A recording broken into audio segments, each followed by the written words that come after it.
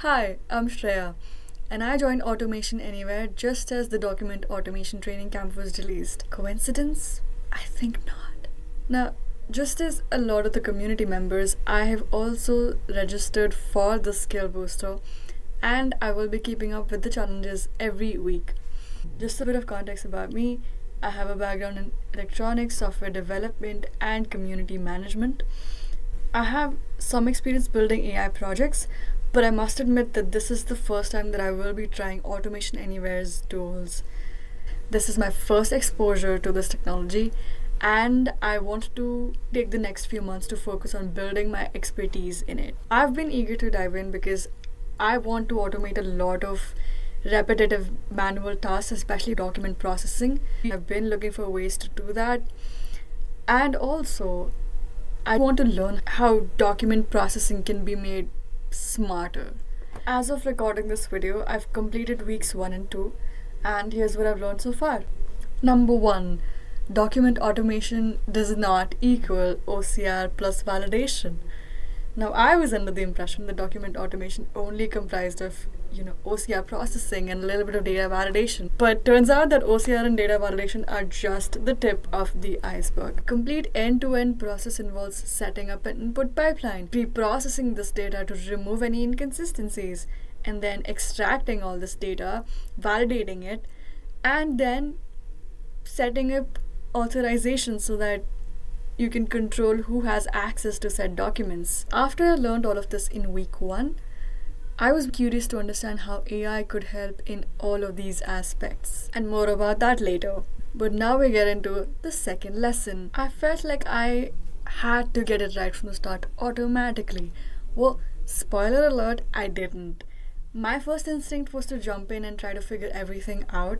I thought, hey, I've used forms before, or I've classified images before, this should be a walk in the park. But naturally, I was wrong. I remember the first thing that threw me off was setting up the classification pipeline. And I was confused about how to go about the training, testing, and validation process because the no code setup felt very different to writing code. But actually, Automation Anywhere was trying to help my life become way easier, which meant that I needed to shift my approach a little bit.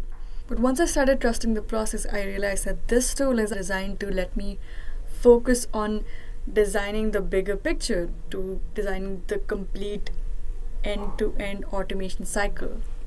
And i started to really have fun with it in the next lesson. Lesson number three.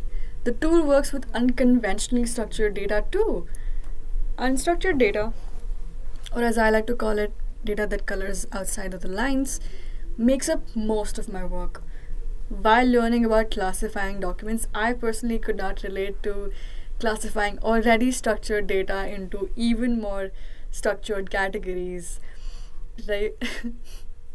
Real life is messy. I was wondering if I would have to go on another quest to discover use cases that would fit the tool's abilities, but the designers of the skill booster have catered to these doubts already the side quests would just have to wait for another time, I guess. I learned how unstructured data could be extracted.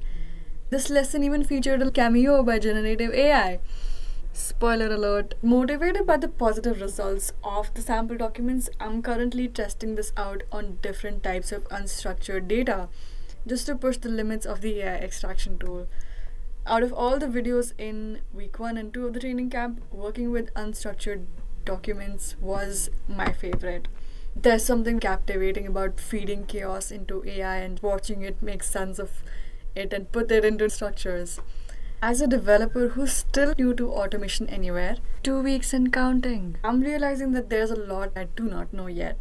Coming from a background where writing many lines of code to manage dependencies and configure environments prior to actually writing the real code is normalized, it's refreshing to discover how much of the setup is handled automatically here.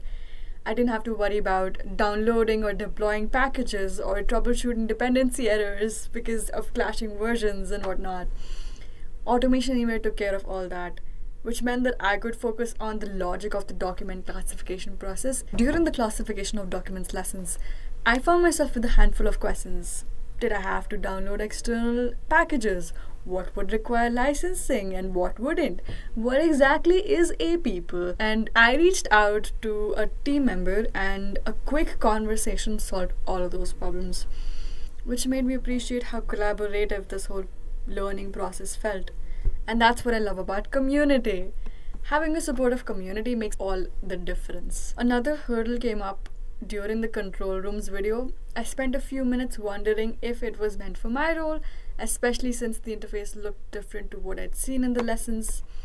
And I couldn't quite connect the dots between this and the previous structure on unstructured documents. I had assumed that things had wrapped up at data validation. Refer to lesson number one. But there is way more to the process, and I'm discovering that, and I'm eagerly awaiting the next few videos and the next steps in this whole document automation cycle. So, in conclusion, my biggest takeaways from the first experience don't overthink it, trust the process, and ask for help.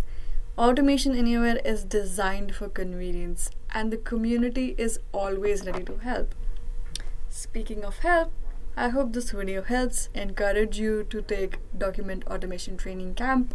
There's only two weeks left, so if you haven't already, sign up and complete the challenges and share your experience with us.